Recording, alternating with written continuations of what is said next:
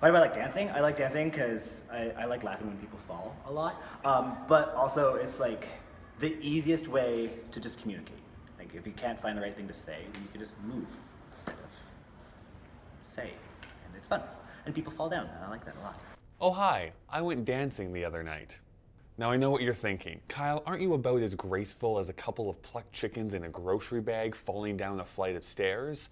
Well, to that I say, that's quite the visceral image. But yes, you're also right. Dancing is such an expression of yourself. It can be raw and powerful, and when it's done well, it can be gorgeous. As a film fan, and maybe more importantly as a Broadway fan, I have a deep respect for dancing. Whether it's Gene Kelly sloshing around in the rain or Fred Astaire twirling around on the ceiling, it fills me with so much joy, which is why I've been always scared to try. So against my better judgment, I decided to accept an invitation from Christifer, a fellow YouTuber, to one of his dance classes. Other local video makers were also there. So I am shiny, and for once it's not because of my Vaseline fetish. Can you see me? Maybe, I don't know, you're down there. Hi everyone. Hi, everyone. I never thought the dancing would get that uh, physical. I mean, of course I knew it was like a workout Yeah. and stuff, but man, I was, uh, I was thinking I didn't think I could do. I, I will say to the audience, Kyle has always said I can't dance, but Kyle can dance. Kyle has rhythm.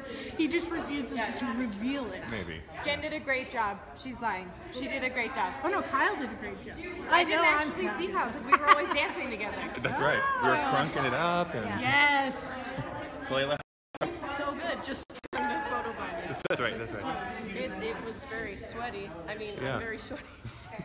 I don't know who I am anymore, but it was good. I'm more sweat than man. yes. Well, always. Always.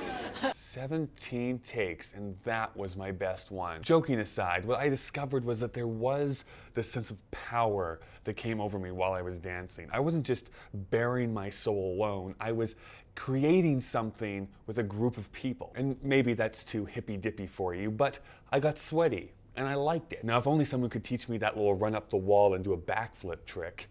That way I could impress people at parties by the way I can break my neck. Well, what do you think? Are you a dancer? Do you enjoy watching dancing? What are your highlights? Let me know down in the comments below. Thank you so much for watching. My name is Kyle. I upload videos every Thursday and sometimes even on Monday. If you like this video and want to see more of them, consider becoming a patron over on my Patreon page. And now I can watch that terrible dancing in the street video.